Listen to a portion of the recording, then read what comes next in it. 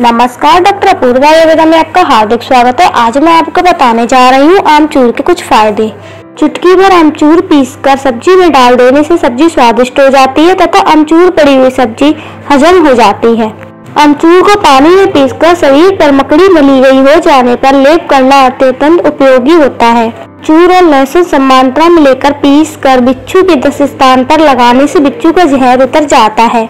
तूप पर पैरों में बीमारी फटने पर आमों की चटनी या अमचूर का लेप करने से लाभ होता है। अमचूर को भिगोकर शहद में मिलाकर बच्चे को नित्य प्रति दो बार चटाने से सूखा रोग ठीक हो जाता है। अगर आपको हमारी यह वीडियो पसंद आई हो तो प्लीज़ हमारी वीडियो को लाइक, शेयर, कमेंट ज़रूर करें। Thank you.